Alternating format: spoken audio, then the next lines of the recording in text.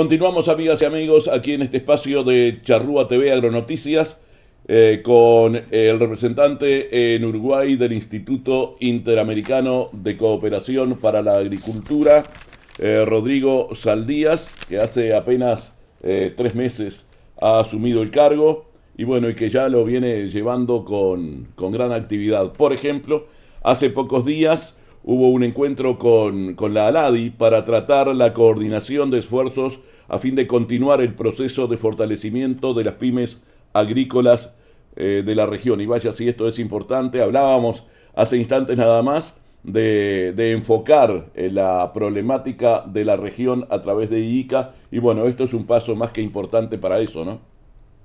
Sí, eh, en, realidad es un paso que siempre fue importante, el otro día lo hablábamos en la, en la actividad, siempre fue importante, siempre, siempre es clave lograr que las empresas, las pequeñas, las medianas, en realidad todas las empresas logren desarrollarse sus mercados internacionales.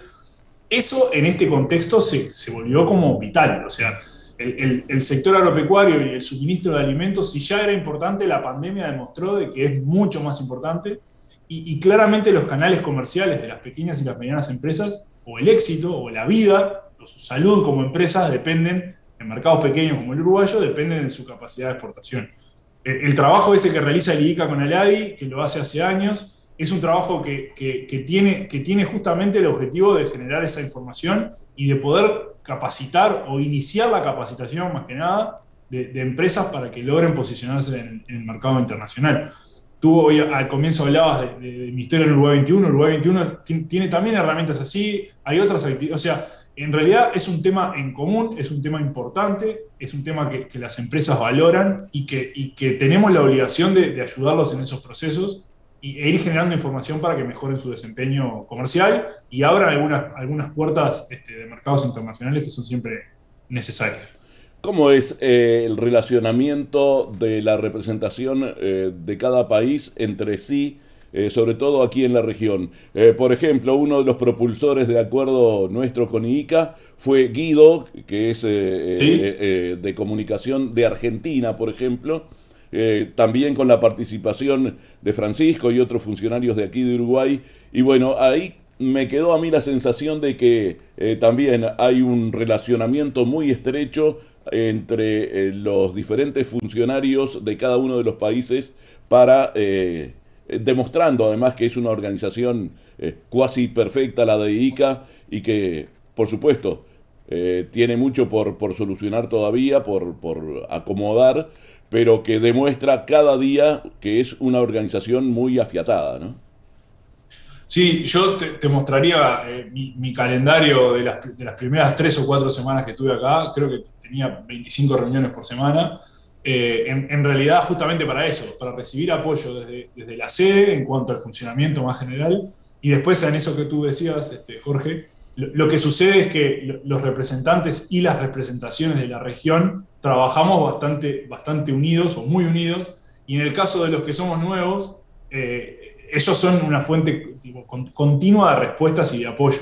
Y obviamente hay como dos carriles, digamos. Hay uno que es para entender el funcionamiento del IICA y posicionar y trabajar en, en conjunto, y el otro es para alinear uno de los objetivos, que es justamente buscar proyectos para lograr este, captar este financiamiento y lograr generar esa, agenda de trabajo técnica que yo te decía al comienzo. En muchos casos, los proyectos deberían ser vistos con un, enfoque regional, entonces el, flujo de comunicación y de conocimiento y de trabajo es súper intenso y yo creo que a medida que vayamos generando más cosas va a ser aún más intenso y aún más concreto en trabajos y en, propuestas este, de proyectos para, llevar adelante.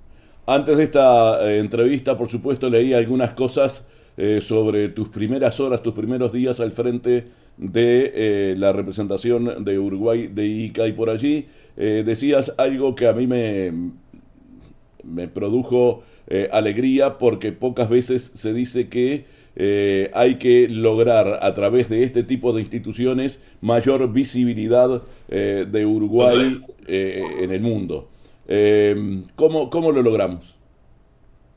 Eso es la, es la pregunta del millón, pero, pero queda, claro, acá de vuelta, todos somos un poco producto de, donde venimos. Entonces, yo soy bastante agradecido a mi historia y, y en estos últimos años mi objetivo era vender Uruguay a escala empresario, ¿no? A escala, bueno, señor empresario, venga a invertir Uruguay.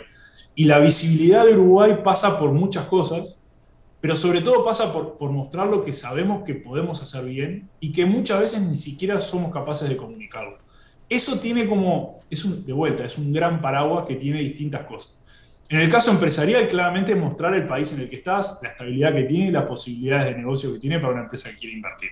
Y al nivel en el, que estamos ahora, en, un instituto, es, justamente el de volver a poner al IICA en, el, medio para, poder generar eso que yo veníamos hablando al comienzo, digamos, generar productos, generar instancias de trabajo técnico, generar este, relaciones entre los distintos actores del sector agropecuario para empezar a mostrar la forma en la que Uruguay trabaja y la que Uruguay este, produce.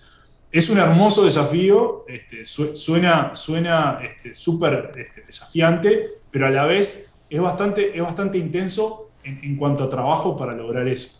en ese proceso de construcción estamos, hoy, hoy el IICA tiene muchos vínculos con, con, el medio que debemos continuar trabajando el continuar trabajando significa encontrar puntos en común para trabajar y no simplemente firmar un papel que diga que yo tengo un acuerdo con X o con Z. Necesitamos armar una agenda de trabajo. Necesitamos identificar eso. Ahí el resultado de eso para mí este, va a ser el que, estamos hablando. Generar productos que muestren Uruguay, que trasciendan un poco a lo que pasa acá y que logremos, quizá también con la región, mostrar la forma en la que se está trabajando y la que se está produciendo. Y hacia la interna del país, Rodrigo, ¿qué grado de asociación se puede esperar de ahora en más en, esta gestión con las gremiales, eh, esas que son el sostén mismo del, del resto de las asociaciones e instituciones del agro, como son ARU, Federación Rural, Cooperativas Agrarias Federadas y Comisión Nacional de Fomento Rural, por mencionar a las más visibles, ¿verdad? Y el, a ver, el, de vuelta, el, el instituto hoy tiene muchas relaciones este, muchos acuerdos y, trabajó intensamente en, los últimos meses para, volver a, ponerse en agenda. Entonces, te diría que, la apertura es total, es absolutamente total al trabajo con esas lineales, al trabajo con otro tipo de asociaciones, al trabajo con institutos. En, realidad, acá, esto también es, producto de, de, que uno siempre es nuevo y viene cargado con una mochila de optimismo. Yo estoy convencido de que la forma de generar cosas es, justamente vincularse y vincularse con proyectos concretos y trabajar para lograr esos proyectos. Entonces, es imposible pensar en proyectos vinculados al agro que no involucren a esas, a esas asociaciones, a esas instituciones que tú nombraste. También lo, mismo pasa con el lado más empresarial, que claramente es, es, un tema necesario. Es un tema necesario vincularse a empresas que estén, estén buscando desarrollar productos. Ahí el IICA tiene dos fortalezas grandes. Es una, tú lo dijiste perfecto, es la escala de un proyecto en el ICA Uruguay no, es, no se limita a Uruguay, es, es un proyecto que tiene 34 representaciones en toda América. Es decir, la escala es grande, enorme. Podés buscar rápidamente ejemplos de cosas que se hicieron bien y ejemplos de cosas que no se hicieron bien y hay que mejorar. Y el segundo es la objetividad del trabajo técnico. Es decir, nosotros somos necesitamos generar trabajo técnico confiable y objetivo, y ese es, ese es nuestro objetivo, a la redundancia, a la hora de trabajar en conjunto. Y ya en el final, porque nos queda poco tiempo, hemos visto eh, permanentemente la presencia del IICA en muchos proyectos del Instituto Nacional de Investigación Agropecuaria INIA, con quien trabajamos también eh, constantemente. Eh, ¿Se va a seguir profundizando eso? ¿Se va a seguir manteniendo? ¿Qué, ¿Qué lugar ocupa ese vínculo con un instituto tan eh, básico o fundamental para el desarrollo de la agropecuaria uruguaya? Te diría que el, de vuelta, el vínculo es pleno, completo. Eh, todas estas semanas este, tengo, reuniones con el, con INEA justamente para, empezar a pensar temas en común para, trabajar. Hay, hay, un tema súper interesante que es como, digamos, para no extenderme, pero sí para contarte algo concreto o contarles algo concreto, es uno de los desvelos de, la dirección general y de la sede central y también de, la representación en Uruguay es trabajar sobre, la, sobre el acceso a la digitalización, a las tecnologías de información y comunicación en el agro, y después mostrar cómo Uruguay es, es un, no sé, le podemos poner el, término que quiera, pero un laboratorio de ideas o una prueba de ideas y generación de innovación para el agro. Y de vuelta, en esa construcción que viene dada por, por, por la dirección general, pero es un tema súper clave e interesante para Uruguay, el reflejo automático es involucrar a quien trabaja con ciencia vinculado al agro y ese es el línea. Entonces, el vínculo es, hoy es total y, espero sinceramente que sea total en proyectos concretos que logremos trabajar en conjunto. Ese laboratorio de ideas, esa, esa forma de pensar y validar tecnología para, para, el, para el agro uruguayo y del Uruguay, para la región y para el mundo, es quizás uno de los objetivos más, este, más claros y más desafiantes que tenemos, en los que no podemos pensar en otro socio que no sea línea. Eso está claro. Bien, en el final déjame hacerte un, comentario. Por allá por los comienzos de, de Charrúa TV hace casi 18 años, eh, a quien primero eh, entrevisté en el IICA fue al doctor Otero. Hoy, eh, al frente del IICA, allá en Costa Rica, sabemos que, que nos sigue eh, permanentemente nuestras emisiones y cuando no es en directo eh, sigue a través de nuestra página web o nuestro canal en YouTube. Eh, así que el saludo para el doctor Otero allá en Costa Rica. muy buena la elección que han tenido en poner aquí en Uruguay a un uruguayo. Muchas gracias por eso y por supuesto la convicción de seguir junto al IICA, a disposición del IICA y eh, poniendo eh, fuerza en ese acuerdo que hemos firmado y que para nosotros es fundamental en materia de comunicación. Perfecto, sí, realmente para mí es un, desafío tomar el, trabajo, el trabajo que, hizo Manuel Otero en Uruguay, este, fue muy, muy importante en, la historia de la representación, este, así que bueno, eh, estaremos a la altura de eso, contás con, nosotros para lo que necesiten, desde, nuestro vínculo o desde las cosas que puedan surgir.